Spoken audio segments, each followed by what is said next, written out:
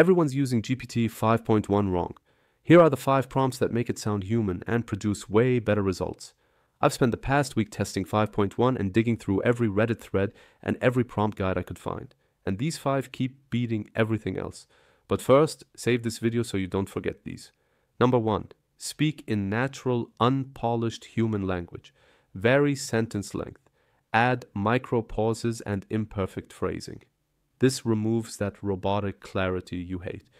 Number two, before answering, restate what you think I'm asking in one sentence. This cuts 80% of misaligned answers. Number three, show your reasoning but only reveal the final version. Hide the messy steps. This gives you accuracy without the rambles. Number four, use lived experience examples instead of generic surface level advice. This forces depth. People on Reddit swear by this. Number five, calibrate your tone to match this sample text. Then paste your writing. 5.1 mirrors style shockingly well when you prime it with your own voice. Follow if you want more prompts that actually make you sound like an AI expert.